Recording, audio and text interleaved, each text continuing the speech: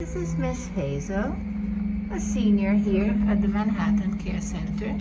She's very, very pretty, shiny ebony, has a great appetite, and she's a friendly character. Yes, she is. She is a good girl. Yes. She uses her litter box. She, she eats good. She likes to be petted. Yeah, there's more. Oh, there's this fish here. Oh, you like fish. Oh, you like fish. Yes, that's delicious. That's delicious. And you're a delicious little princess too. So this is Hazel here at the Manhattan Care Center, a senior who is up and about, uh, interactive, and uh, who is doing all what a good cat does. She's there waiting for you at the MAC.